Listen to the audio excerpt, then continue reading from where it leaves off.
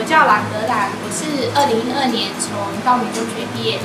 那在二零一二至二零一六期间呢，就读一所大学材料系。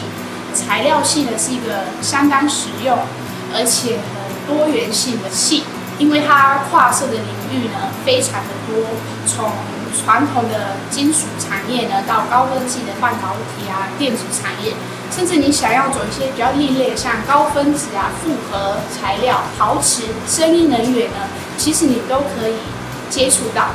那所以学生的发展性呢非常的大，大部分的教师呢都具有相关的产业工作，所以他们常常在课堂上呢就会分享啊自己的工作经验，也会在工作上会实际碰到的例子呢放到课堂上去讨论。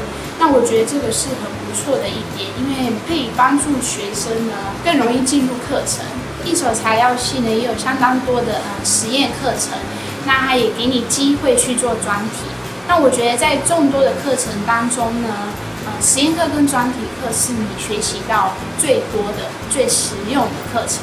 你可以借着做实验呢去学习如何在你面对一个问题的时候呢，如何冷静的面对它。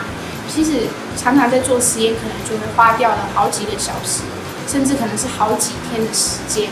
那你也常常会做失败。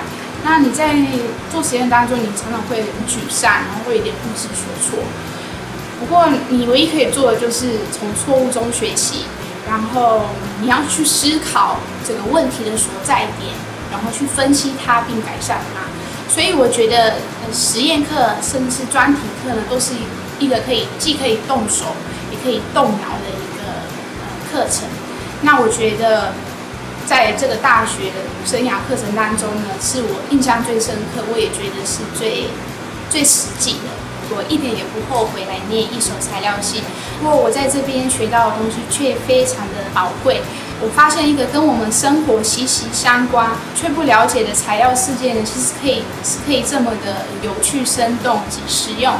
呃，另外我在这边也认识了很棒的教师，呃，在你有困难的时候会帮助你，会提点你。你在这边也会交到很好的朋友，一起面对你课业上还有生活上的问题。所以我真心的推荐呃一手。